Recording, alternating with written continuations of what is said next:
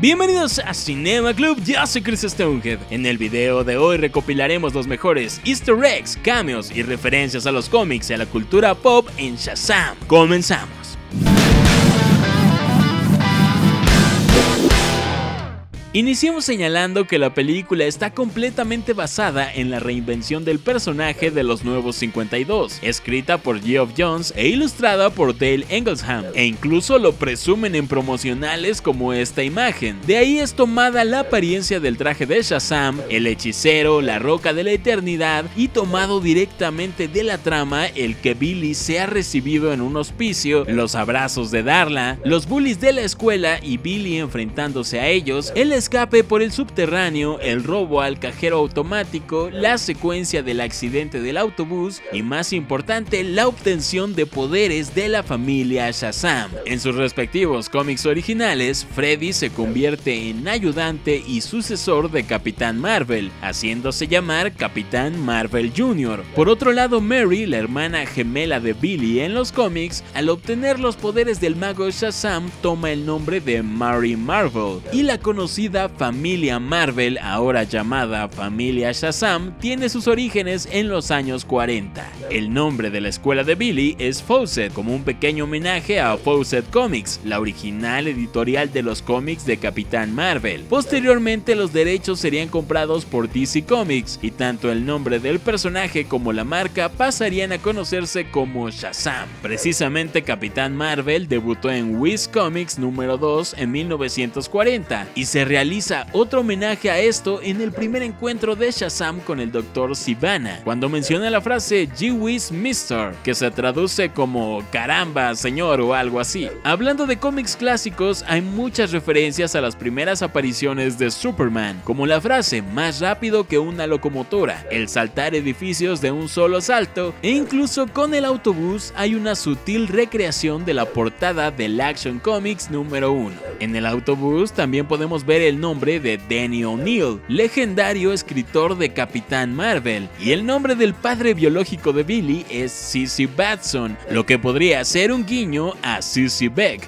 el co-creador de Capitán Marvel. Al inicio de la cinta, el mago Shazam menciona que la primera vez que le otorgó sus poderes a alguien, esta persona desató el caos. Esto es una referencia a Black Adam, el clásico némesis de Shazam, aunque es su única mención en la cinta. Algo raro considerando que desde hace tiempo está confirmado que Dwayne Johnson, La Roca, interpretará a este personaje. Incluso hay una cinta individual en desarrollo. Y además de eso, La Roca es productor de Shazam, aunque con un poco de suerte lo veremos en la secuela. En la cinta podemos ver que a Billy le gustan los tigres, el peluche en la feria, en su mochila e incluso hay un tigre en el emblema de su traje. Esto es un guiño al personaje del señor Tauki Townie, un tigre antropomorfo compañero de aventuras de Shazam, uno de los personajes más longevos de los cómics. En la versión de los nuevos 52 es un tigre normal y probablemente lo veamos en la secuela. La fábrica en la que Freddy y Billy hacen las pruebas de los superpoderes pertenece a la compañía Ace Chemicals. Esto es un guiño al Joker y a Harley Quinn. También vemos un graffiti con la palabra Arion, un hechicero del mundo de DC. En la roca de la eternidad vemos rápidamente un espejo con un marco dorado. Esto podría ser un guiño a Francesca, una entidad mágica que se manifiesta en los reflejos. También en una de las puertas vemos a varios hombres cocodrilo. Estos seres son conocidos como punkianos, hombres reptil del planeta Puncus. También tenemos referencias a otras franquicias, películas y videojuegos. En la oficina de servicios infantiles vemos varias caritas sonrientes en el escritorio. De acuerdo con el director de la cinta, entre ellas hay un botón con una gota de sangre como referencia a Watchmen.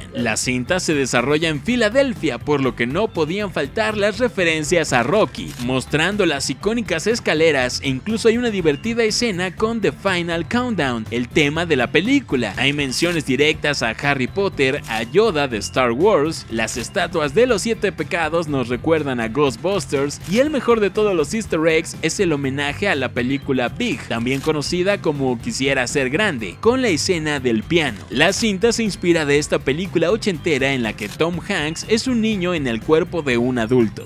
David F. Sandberg también dirigió la película Annabelle Creation, y como guiño a esto incluyó a la muñeca Annabelle en la tienda de empeño en la que Billy engaña a los policías. Curiosamente, esta es su segunda aparición en este universo, ya que también fue incluida en Aquaman en homenaje a James Wan. El personaje de Eugene es un gamer de corazón. Lo vemos jugando Mortal Kombat con el personaje de Raiden. Menciona que no es un hacker, pero que sí ha jugado Watch Dogs. Y en la batalla final cita las icónicas frases Fatality de Mortal Kombat y Hadouken de Street Fighter. La cinta también está llena de memorabilia de la Liga de la Justicia, montones de juguetes que son verdadera mercancía de las películas. Freddy usa playeras de Superman y Aquaman, su mochila es de Superman, tiene recortes de periódico de los eventos relacionados a la Liga de la Justicia y al Hombre de Acero, tiene la réplica del Batarang de Batman, cuando intentan comprar una guarida mencionan que la quieren con una cascada en la entrada, un guiño a Batman Begins. En los créditos vemos dibujos de los héroes de la Liga, en la segunda escena post créditos hay una divertida mención a Aquaman y por supuesto al final tenemos la aparición de Superman, aunque fue usando un doble. De acuerdo al director, la agenda de Henry Cavill no le permitió aparecer en la cinta. Por cierto, el director David F. Sandberg hace un pequeño cameo de voz como el novio de la mamá de Billy. Seguramente lo sepan, pero Mr. X de The Top Comics, youtuber mexicano, realiza un cameo junto a otros youtubers en la escena de la feria. Curiosamente, los actores Adam Brody y DJ Cotrona, quienes interpretan a Freddy y a Pedro como superhéroes, estaban casteados como Flash y Superman respectivamente en Justice League Mortal, la película de George Miller que nunca llegó a la luz. Así que de cierto modo terminaron siendo superhéroes de DC. Digimon Hudson había aparecido como el Rey Rico en Aquaman, Mark Strong había interpretado anteriormente a Siniestro en Green Lantern, y el padre del Dr. Sivana es interpretado por John Glover, recordado por ser el señor Luthor en Smallville. En la escena de mitad de créditos vemos al villano Mr. Mind, un clásico villano de los cómics de los 40, una caricaturesca oruga alienígena telepática con una inteligencia superior. En los cómics es el fundador de The Monster Society of Evil, la alianza de los más grandes villanos de Capitán Marvel, y precisamente lo vemos reclutando al Dr. Sivana. Y bueno, estas son todas las referencias que encontramos, si viste alguna, déjala en los comentarios. Queremos mandar un saludo al buen Keiner Elías Flores, quien nos pidió este video a través de nuestras redes sociales. Te invito a ver los videos de easter eggs de las otras películas de los mundos de DC y el cuarto episodio de el podcast de Pixar Time, en el que hablamos con spoilers sobre la cinta. Les habló Chris Stonehead, nos vemos y nos escuchamos la próxima.